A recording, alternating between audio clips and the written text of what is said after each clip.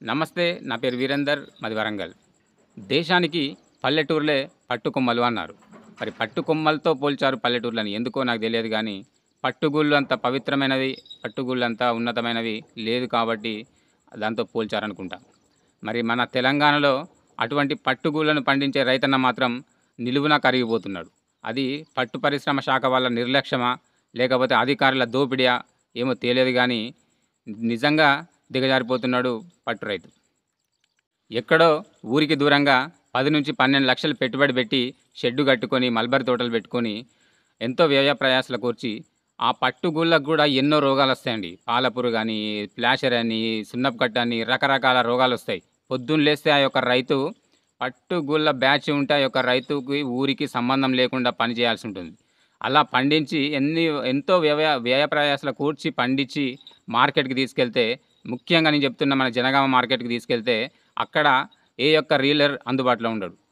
ఒక్కరు ఇద్దరు రీలర్స్ అందుబాటులో ఉంటారు. మిగతా రీలర్స్ ఎవ్వరూ వేలంపాటకు రారు. అక్కడ ఉన్న అధికారే ఆ ఫోన్లో ఎక్కడో ఉన్న దూరంగా ఉన్న రీలర్స్ తోటి వేలంపాటలో పాడనిస్తా పాడిస్తాడు.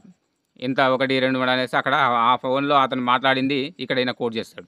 సరే ఎంతో కొంత కొన్నారు కదా కొన్నాక రైతుకి మాత్రం నెల రోజుల దాకా ఒక రూపాయి కూడా ఇవ్వరండి.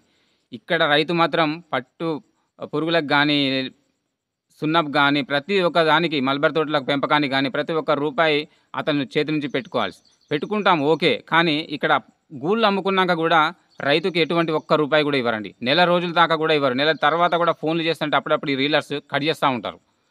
రెండు వేల పద్దెనిమిది నుంచి రైతులకు రావాల్సిన ఇన్సెంటివ్ ప్రోత్సాహకము ఇవ్వట్లేరు. ఆ మధ్యలో ఒక మన హుజరాబాద్ ఎలక్షన్స్ అప్పుడు అక్కడ ఉప ఎన్నికలు జరిగినప్పుడు ఆ తెలంగాణ ప్రభుత్వము ఒక్క హుజరా కరీంనగర్ జిల్లాకి మాత్రమే ఆ ఇన్సెంటివ్లు ఇచ్చారు. సరే ఈ మధ్యలో ఒక నెల రోజుల కాడ నుంచి ఈ ఇన్సెంటివ్లు వేస్తున్నారు.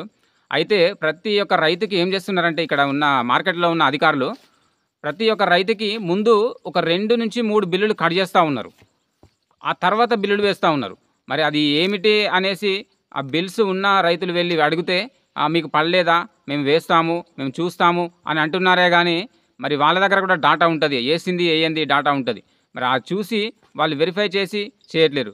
మార్కెట్ అధికారుల దగ్గర మాత్రం చాలా వరకు సమస్య మార్కెట్ అధికారుల దగ్గరే ఉంది. నిన్న సంగం మండలం మన వరంగల్ జిల్లా సంగం మండలం ఆశలపల్లి యొక్క రైతు ఎర్రబెల్లి శ్రీనివాసరావు అని ఆ యొక్క రైతు మొత్తానికి ఒక ఐదు పంటలు ఫస్ట్ ఆ కరోనా టైంలో ఐదు పంటలు పండించాడు. దాంట్లో ఫస్ట్ ఫస్ట్ బిల్లు అప్పుడే ఆ మధ్యలో ఇన్సెంటివ్ వచ్చింది. ఆ తర్వాత మిగతా బిల్లులు పడలేదు. ఇప్పుడు ఈ మధ్యలో చూస్తే అతనికి ఐదో బిల్లు పడింది. అంటే ముందు ఉన్న మూడు బిల్లులు కంప్లీట్గా కట్ చేశారు. మెయిన్ ప్రాబ్లం ఏంటంటే అప్పుడు ఆ కరోనా టైంలో తీసిన ఇన్సెంటివ్సే నాకు మిగిలిన మిగులుబాటు. అది కూడా ఇప్పుడు వాళ్ళు నాకు రాకుండా మరి ఆడ ఏమైందో అర్థమవుతలేదు నాకు కనీసం ఆ మూడు నాలుగు బిల్లులు వస్తే వస్తే నాకు ఆ వచ్చే బిల్లే నాకు మిగులుబాటు అవుతుందని నా విన్నపం సార్.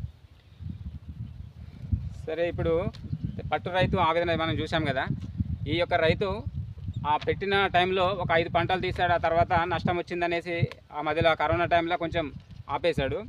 అతనికి ఈ మొత్తం ఐదు బిల్లులు ఉంటాయి ఈ ఐదు బిల్లులలో మూడు బిల్లులు వదిలేసి నాలుగో బిల్లు ఇచ్చారండి. నాలుగో బిల్లు ఇచ్చారు. ఈ ముందు మూడు బిల్లులు వదిలేశారు. మరి ఇది మార్కెటింగ్ శాఖ వల్ల అంతర్జాలమా మాయాజాలమా? పట్టు శాఖ కమిషనర్ గారు కూడా ఇటువంటి సమస్యలను పరిష్కరించకపోతే ఇటువంటి రైతులు ఆ షెడ్కి ఒక పది లక్షలు పెట్టుబడి పెట్టి ఉంటాడండి ఈ రైతు.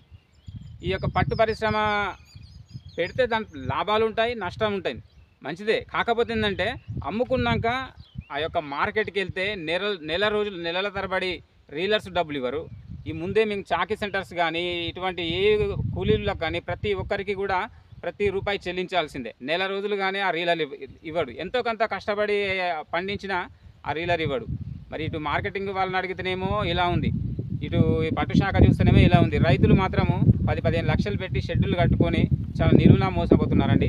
ఈ ఇన్సెంటివ్లు మాత్రం నేను ప్రతి ఒక్క బిల్ టు బిల్ చూపెడతానండి ఇది. కొంతమంది రైతులేమో బిల్లులు పోగొట్టుకొని వాళ్ళు అడగలేకపోతున్నారు. నాలాంటి రైతులు. నేను ఆ పట్టు రైతునే కాబట్టి నా యొక్క బిల్లులు పోయినాయి. ఈ యొక్క రైతు ఐదు పంటలే పండించాడు అప్పుడు. ఆ ఐదారు పంటలలో ఆ టైంలో. ఆ కరోనాకి ముందు ఆ కరోనా టైం వరకు అతను పండించిన ఐదు ఆరు పంటలలో ఒకే ఒక్క బిల్లు ఇన్సెంటివ్ వచ్చిందండి. రెండు వేల పద్దెనిమిదిలో ఒకే ఇన్సెంటివ్ ఒకటే వచ్చింది. ఆ మిగతా మూడు బిల్లులు రాలేదు. అంటే వెనక కూడా ఫండ్ వరకు. వెనక బిల్లులు కూడా రెండు రాలే. ఆ, సరే, ముందు మూడు వదిలేశారు ఆ వెనకది కొట్టారు. ఇంకొక బిల్లు వెనకది కూడా రాలేదు. అని అంటే మొత్తం మూడు బిల్లులు వదిలేశారంటే ఇది మార్కెటింగ్ వల్ల అంతర్జాలమై ఉంటుంది. ఇంకొకటి ఏంటంటే కొంతమంది రైతుల యొక్క పేర్లు పెట్టేసి బీనామీల పేర్లతో అధికారులే అంటే ఆ మార్కెటింగ్లో ఉన్న అధికారులే తీసుకుంటున్నారని ఈ మధ్యలో ఒక రైతు కూడా అతను కూడా చెప్పాడు నాకు.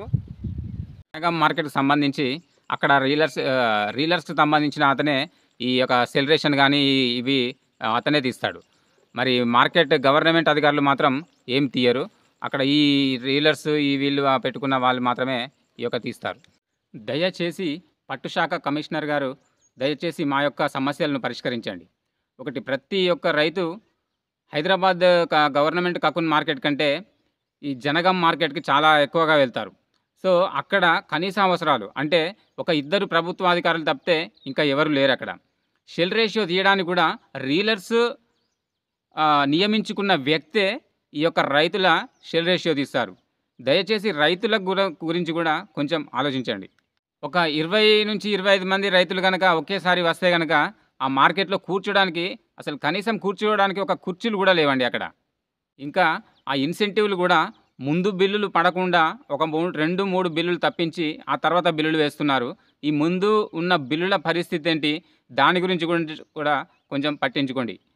ఈ రీలర్స్ కూడా అక్కడ మార్కెట్కి రాకుండా డైరెక్ట్గా పాల్గొనకుండా ఆ ఫోన్ ద్వారా యాక్షన్లో పాల్గొంటున్నారు. దయచేసి ఈ యొక్క సమస్యను కూడా పరిష్కరించండి.